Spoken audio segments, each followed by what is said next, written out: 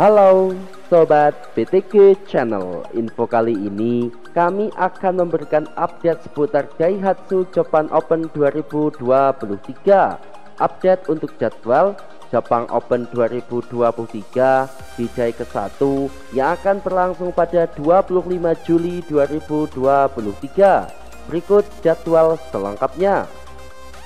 Sebelum dilanjut, jangan lupa like, comment, share, and subscribe saluran BTG Channel untuk mendapatkan info-info seputar berita olahraga. Kita mulai untuk jadwal wakil Indonesia yang akan bertanding di lapangan 1 Jepang Open 2023 Day ke-1 Oh ya teman-teman, untuk info bahwa pertandingan Jepang Open 2023 Day ke-1 akan mulai ditayangkan pada jam 8 pagi live di channel YouTube BWF TV pertandingan untuk wakil Indonesia di lapangan 1 ada Praventure dan Melati Deva Oktavianti yang akan menghadapi pemain unggulan ketiga tuan rumah Yuta Watanabe Arisa Higashino.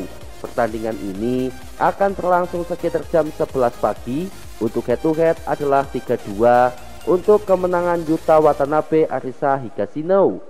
Jadwal wakil Indonesia berikutnya di lapangan 1 yaitu ada Apriani Rahayu Siti Fadia Silva Ramadanti yang juga akan menghadapi wakil tuan rumah yaitu Nami Matsuyama Harusida. Pertandingan ini akan berlangsung sekitar jam 1 siang. Head to head adalah 1-1.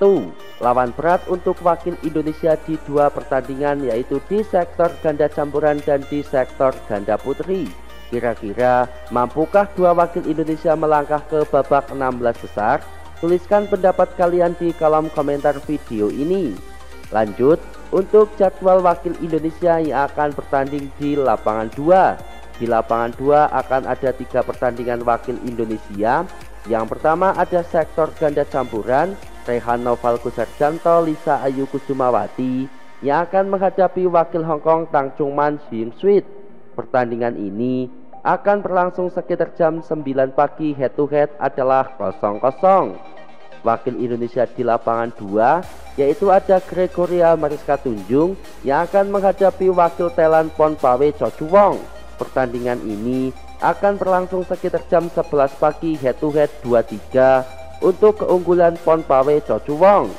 Jadwal yang ketiga yaitu wakil Indonesia di sektor ganda putra di mana Muhammad Ahsan Hendra Setiawan akan menghadapi ganda putra Korea Kim Kijung Kim Sarang. Pertandingan ini akan berlangsung sekitar jam 4 sore head to head adalah 6-2 untuk keunggulan Muhammad Ahsan Hendra Setiawan.